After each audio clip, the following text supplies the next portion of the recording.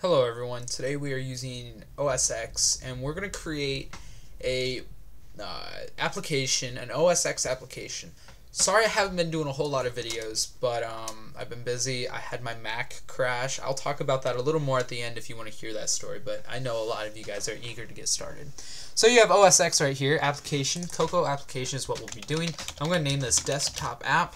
You guys should know how this works. Organization name, your name, or the organization. You got the organization identifier, which is your web address, but reverse. Or you could do me.yourname, and then which would create the bundle identifier. For me, would be me.camerontarbell.desktop-app if I were to use me.camerontarbell, which would be my name. All right, so language we'll be using Swift. Hit next. I'm going to go ahead. I'm going to replace mine because I have had a practice one here.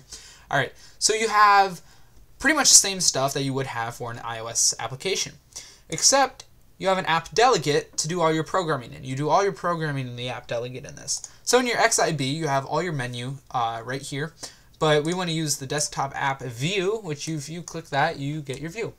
All right, so we're going to go ahead and we're going to drag in a label and we're going to show you how this is a little different. Um, go ahead, give it a little room, center it, center the text, um, and then we're going to go ahead and we're going to put a button. I'm going to do a round rect button. I haven't seen round rect buttons since Xcode 4. Back when I was, yeah, I remember the good old days of Xcode 4. Back before flat icons were the thing and all that great stuff. All right, we're going to create an outlet to the label here.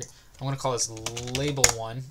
And then in your application did finish launching, which is the same thing as the super view did load in iOS, you're going to put um, label one dot set or dot string value equals hello world. Sorry, right there is what we just told it to do is label one and the text, essentially the string value, is going to equal hello world.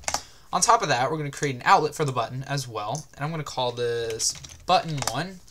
And we're going to do button1 dot title equals change text. So we just created a string value in a title. A title is used in a button. So therefore button1 dot title equals change text. Therefore label will say hello world while button1 will say change text. Let's launch our application here by hitting the little start button.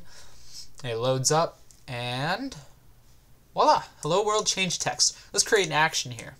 All right, so we're gonna go ahead, I'm gonna drag in here, we're gonna create an action. I'm gonna put change text as the action name. Now in here, this is when the button is clicked. We will be doing this. We're gonna say label one dot string value equals, and we're going to say hello world text changed. All right, so right there, that's that's about all you need. So you might want to give it a little more room here. I'm going to make it nice and roomy. I'm going to go ahead and do that. Launch the application. Now, change the text. Bam! We have the text changed. All that great hoopla. So anyway, um, that's all I'm going to do for this very first Hello World episode.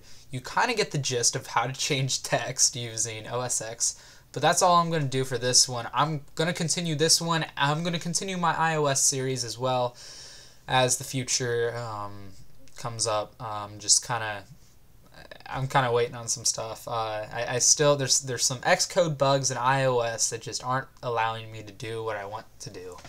So anyway, thank you for checking this out. Subscribe to me, subscribe to Swift Devs, follow us on Twitter at Swift Devs, and uh, yeah.